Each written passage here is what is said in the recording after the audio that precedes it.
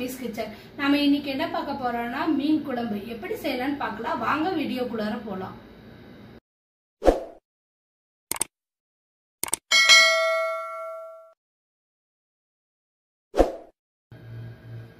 தேவையான பொருட்கள் என்னென்னு பார்க்கலாம்.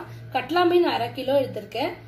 பெரிய வெங்காயம் ஒன்று சின்ன வெங்காயம் ஐம்பது கிராம் பூண்டு அஞ்சு பல் பூண்டு எலுமிச்சம்பழம் சைஸில் புளி எடுத்திருக்கேன்.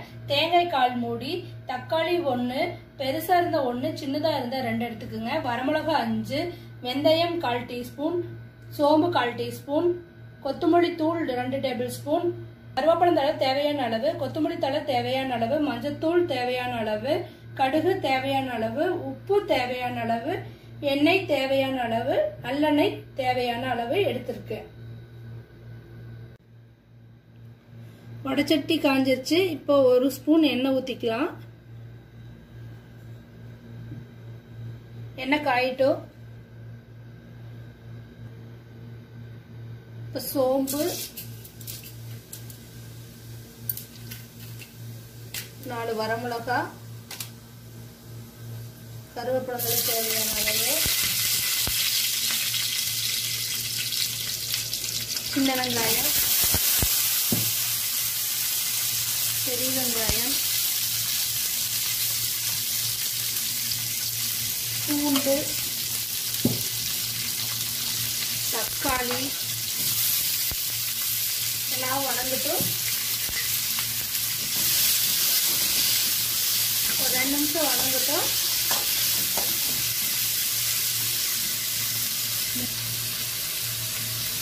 ஒரு அஞ்சு நிமிஷம் நல்லா வணங்கட்டும் அப்புறம் தேங்காய் போட்டுக்கலாம். இப்போ நல்லா வணங்கிடுச்சு. இப்போ வந்து தேங்காய் போட்டுக்கலாம். ஒரு ரெண்டு நிமிஷம் மட்டும் வணங்கினா போதும் தேங்காய்.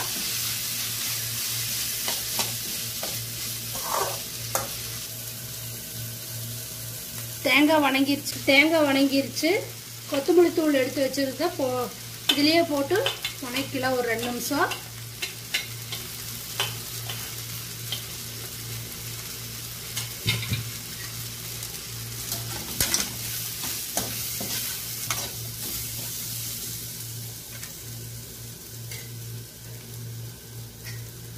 ஆறட்டுன்னு அரைச்சி எடுத்துட்டு வந்துக்கிறேன். ஸ்டவ் ஆஃப் பண்ணிக்கலாம். வடச்சட்டி சூடாயிருச்சு. இப்போ அஞ்சு டேபிள் ஸ்பூன் எண்ணெய் ஊற்றிக்கலாம் நல்லெண்ணெய்.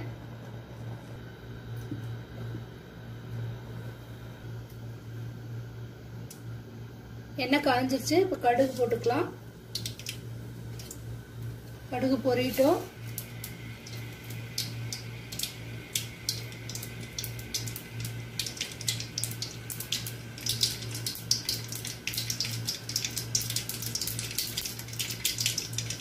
வெந்தயம் போட்டுக்கலாம். கருவேப்பிலந்தலை வரமிளகா போட்டுக்கலாம். வெங்காயம் போட்டுக்கலாம்.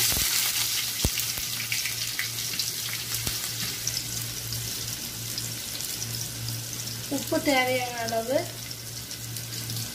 நல்லா வெங்காயம் வளர்ந்துட்டோம்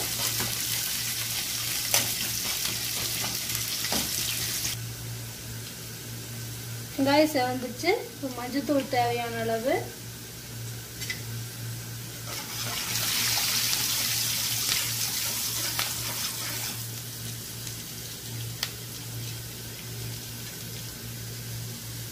கரைச்சி வச்ச புளி ஊற்றிக்கலாம்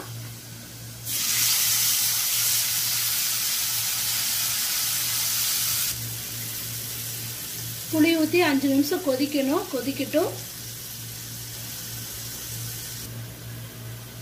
புளித்தண்ணி கொ கொதிக்குது. இப்போ வந்து அரைச்சி வச்ச மசாலாவை உள்ள ஊற்றிக்கலாம்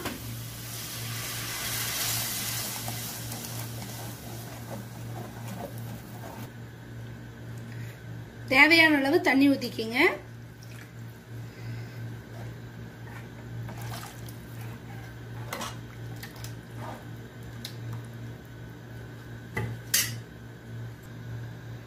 உப்பு தேவையான அளவு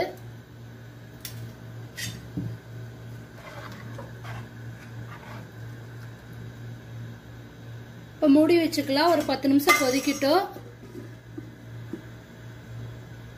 பத்து நிமிஷம் ஆயிடுச்சு இப்போ ஓப்பன் பண்ணி பார்க்கலாம்.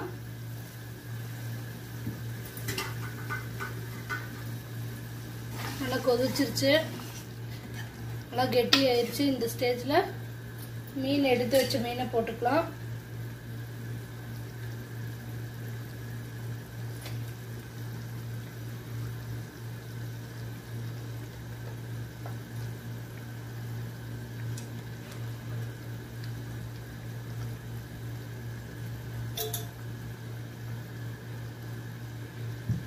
ஒரு அஞ்சு நிமிஷம் மட்டும் கொதிக்கட்டும். மீன் போட்டு ரொம்ப நேரம் கொதிக்க விடக்கூடாது. அப்படியே மூடி வச்சுக்கலாம். ஒரு அஞ்சு நிமிஷம் கொதிக்கட்டும்.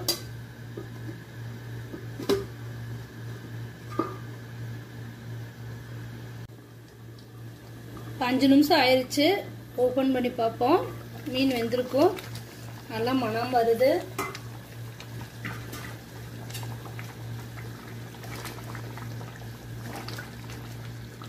பாருங்கள் நல்லா வெந்துருச்சு பாருங்கள்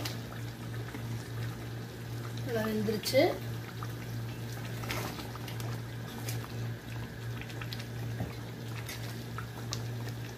கொத்தமல்லி தலை போட்டுக்கலாம்.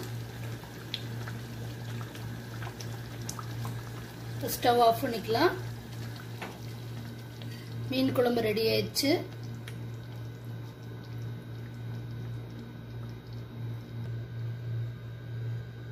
இப்போ மீன் குழம்பு ரெடி ஆயிடுச்சு. வீட்லேயே அரைச்ச மசாலா போடுறதுனால ரெண்டு நாளைக்கு இருந்தாலும் அது நல்லா இருக்கும். கண்டிப்பாக நீங்கள் செஞ்சு பாருங்கள் மறக்காத ஈரோடு பப்பீஸ் கிச்சனுக்கு சப்ஸ்கிரைப் பண்ணுங்கள் லைக் பண்ணுங்கள் ஷேர் பண்ணுங்கள் கமெண்ட் பண்ணுங்கள் இல்லை பெல் பட்டனை ப்ரெஸ் பண்ணுங்கள் தேங்க்யூ